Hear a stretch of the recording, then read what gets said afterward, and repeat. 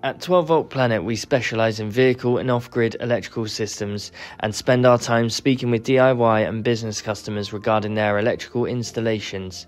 We have heard all sorts of stories over the years, and in this video, we're going to give you our top 5 tips for making sure your installation goes smoothly. The first of our five tips is research. Research is key to making sure you are equipped with the knowledge that you need to carry out the installation of your electrics. There are lots of helpful articles online. We have a section on our website called Knowledge Centre, which is full of information to guide you on the way. We have put a link to the Knowledge Centre in the description of this video. We have also created lots of videos on our YouTube channel, which will also be very beneficial to you, so make sure you check those out. Even reading the manuals for products can help clear things up, like which cable to use, which fuse to use, and how to install the product. If a manual is available for a product that we stock, it will be on our website under the Manuals and Guides tab on the listing of the product.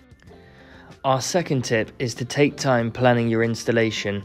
Once you are equipped with the basic knowledge of 12 and 24 volt electrics and know what you will and won't need in your system, you will be ready to create a plan for your build.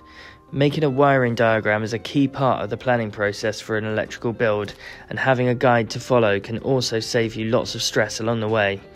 If you do not know where to start with a wiring diagram or just want to see examples of some, we have a few different options available to check out on our website, which are also in the Knowledge Centre section.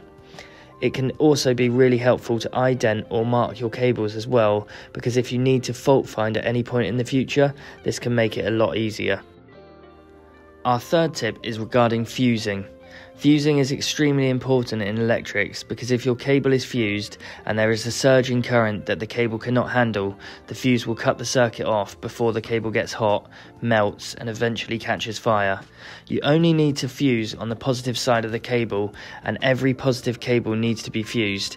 Even the cable going to the fuse box needs to have an inline fuse. As a rule of thumb, you should remember to fuse above the current that you are expecting to go through the cable and below the cable's overall rating. Our fourth tip is another crucial one, especially for 12 volt electrics, and that is regarding voltage drop and making sure that you select the right cable for the load. Voltage drop is a major issue in 12 volt DC electrics and has a much more significant impact than in domestic applications due to 12 volts being a much smaller force, so it needs a larger conductor to handle a load over a number of meters. An example of this could be with an LED light where if the cable is not correctly sized to reduce voltage drop, the voltage experienced by the light might be so low that it may appear to be dim, flicker, or in some cases not power up at all.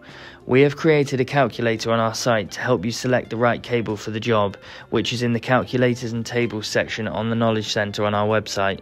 To use this, simply type in the voltage of your system, the amperage of what you're powering, and the number of meters the cable needs to run for, and the calculator will recommend the best cable size for you. Our final tip for helping you achieve the perfect result first time in your electrical system is to give yourself more time than you originally planned. With electrics, you do not want to leave things to the last minute or cut corners, as mistakes with electrics can cause fires and in some cases be fatal. We often hear from customers that their electrics took twice as long as they originally thought they would, so bear that in mind. We hope that these tips will help you on your way to making the perfect electrical system for your build.